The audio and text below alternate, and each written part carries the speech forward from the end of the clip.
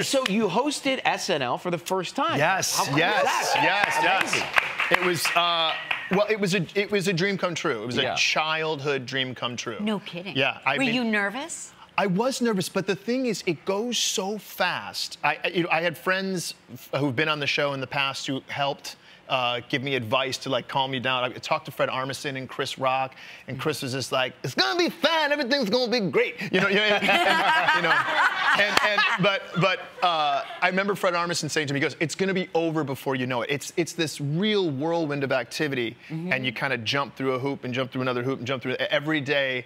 Every day, it starts speeding up and speeding up and speeding up until you get. to And then the show, they literally pick you up and carry you to They, where they, you they need pretty to much be. do. Yeah, when you're standing Yeah. on stage, like the second a sketch is done, you want to say to somebody, you want to say to somebody, "That was, was great," and you hear someone off stage go, Right. "King, let's go, let's go," and they grab you and they just run you, yeah. run you into it. Yeah, it's crazy. Did you get uh, dry mouth, cotton mouth? Did you have to put Vaseline on your teeth? Not, not for SNL, just in general. just in general, Yeah, yeah, in yes, yeah, general. every day. Yeah. No, uh, I, no, I didn't. I didn't get. I didn't get cotton mouth. I just.